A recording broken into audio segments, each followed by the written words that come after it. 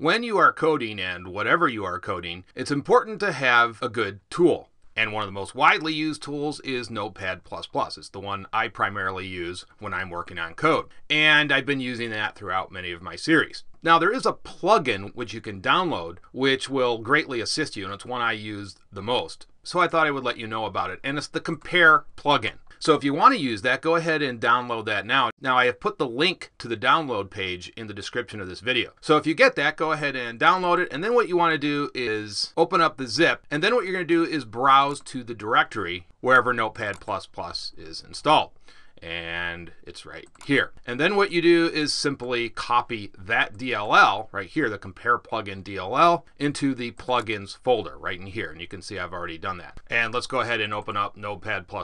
And you can see here I've got two style sheets. And these are basically identical style sheets. And I removed some code from the first style sheet so you can see how the compare plugin works. So basically I removed the column 4 class that was in style sheet 1, but I kept it in style sheet 2. So again, you'll see how this plugin works. So you go to plugins, you hit compare, and then you hit compare again.